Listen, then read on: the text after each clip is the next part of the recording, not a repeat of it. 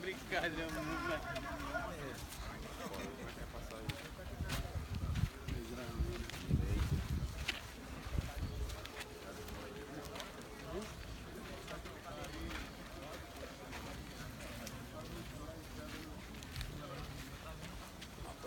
Eu só lembro daquela resenha do Grêmio.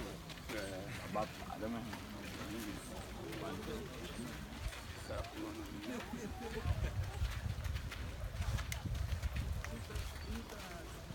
Caldeirão.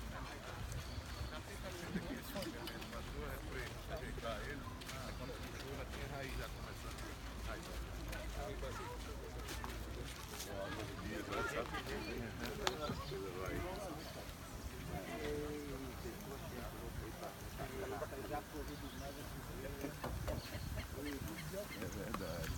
Bom dia, como é que tá? Bom? Beleza.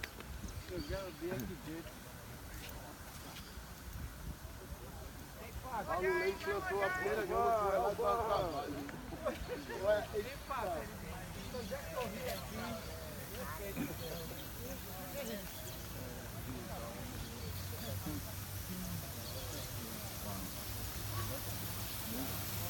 Quarenta dias, né?